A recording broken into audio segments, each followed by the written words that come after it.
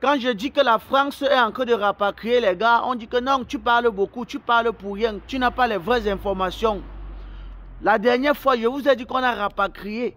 On a rapatrié 15 sans-papiers à Rouen. Vous avez dit que je manque, non? Le tout ici, c'est à Nantes.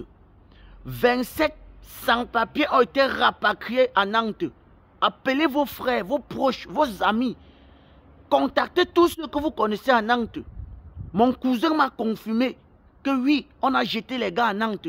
Écoutez très bien ce que je suis en train de dire. On a rapatrié 27 sans-papiers à Nantes. Ils sont en train de faire un nettoyage en bandit. Parce que quand je parle, on dit que Bangwabo, tu parles beaucoup.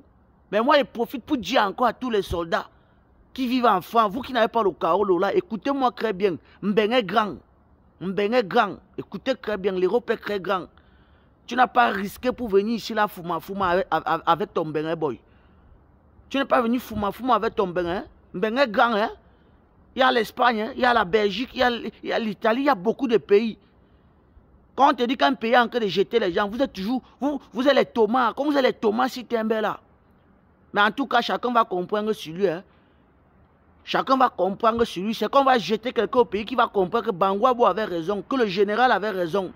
Moi, je continue tout de tirer vos oreilles. Comme vous êtes les Thomas là. Ben voilà, chez Yuni, me souni. Ben voilà, chez Yuni. Même un groupe, mon groupe, c'était. Vous dites que je parle beaucoup, non? Voilà 27 qu'on a encore jeté. Hein?